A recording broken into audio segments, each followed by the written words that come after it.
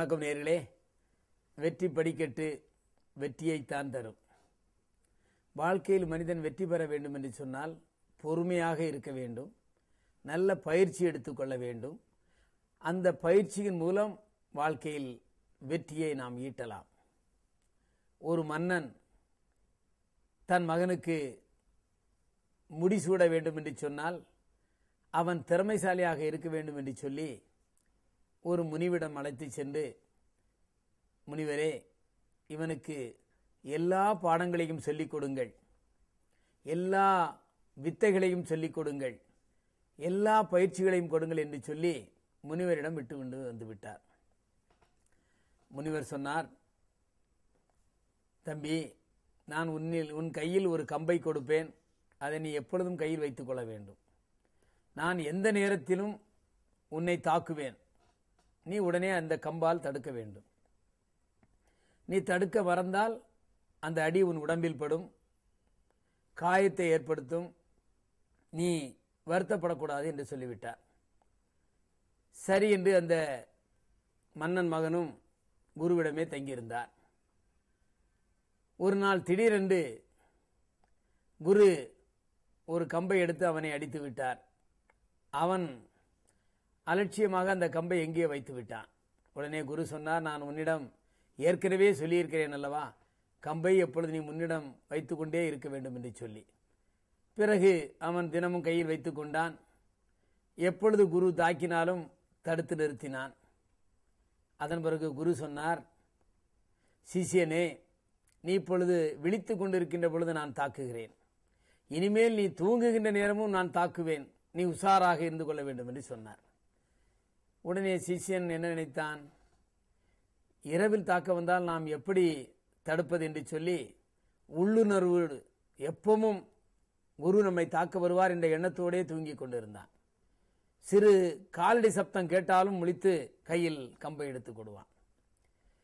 எனவே குரு சொன்னார் பரவாயில்லை நீ ஓரளவு பயிற்சியை முடித்து விட்டாய். இன்னும் உனக்கு ஒரு பயிற்சி இருக்கிறது. இதுவரையில் நான் உனக்கு கம்பை எடுத்து தான் அடித்தேன். நீயும் தடுத்து விட்டாய். தடுக்காத போது அடியை வாங்கி கொண்டாய். ஆனால் இனிமேல் நான் வாளால் தான் தாக்குவேன். நீ தடுக்க வேண்டும். சரிதானே? தயாரா? என்று கேட்டார். உடனே இந்த சிஷ்யன் மனசுக்குள்ள நினைச்சுக்கிட்டான் குரு தாக்குறதுக்கு முன்னாடி நம்ம அவரை தாக்கி ஒரு வழிப்படுத்திடணும் இவர் நம்மளை ரொம்ப இம்சப்படுத்துறான்னு நினைச்சு மனசுல நினைக்கவும் குரு சொல்கிறாரு சிஷியனே நான் தாக்குவதற்கு முன்பு நீ என்னை தாக்க வேண்டும் என்று எண்ணுகிறாய். சரிதானே? நீ எண்ணினாயா? என்று குரு சிஷியனிடம் கேட்டார். சிஷ்யனுக்கு ஒன்றுமே புரியவில்லை. உடனடியாக சாஷ்டாங்கமாக குருவின் காலில் விழுந்து குருவே என்னை மன்னிக்க வேண்டும்.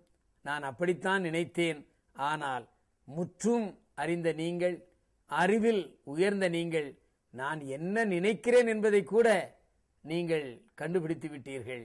உண்மையான குரு நீங்கள்தான். நீங்கள் எப்பொழுது நான் தேர்ச்சி பெற்றவன் என்று சொல்லுகிறீர்களோ அப்பொழுதுதான் நான் தேர்ச்சி பெற்றவனாக ஆவேன் என்று காலில் விழுந்து வணங்கினான்.